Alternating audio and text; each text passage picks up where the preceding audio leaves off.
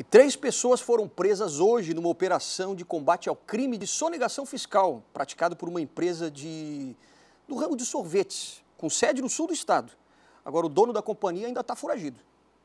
A investigação descobriu indícios de que a empresa de sorvetes fazia vendas sem notas fiscais ou com valores muito abaixo do que de fato era comercializado. Em alguns casos, apenas 30% do que era vendido.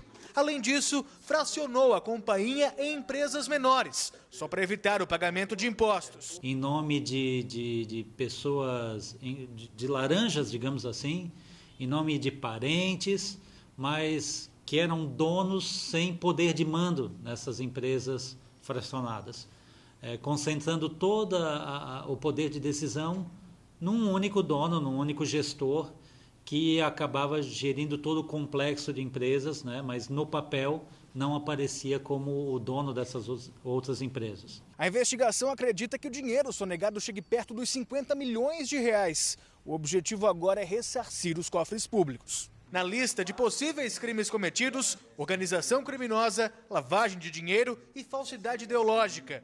As prisões são temporárias e têm duração de cinco dias. Dados indicam que de cada um real que, uh, que, que, nós temos uh, que se evade em razão da corrupção, né, nós temos quatro reais que são em virtude da sonegação fiscal.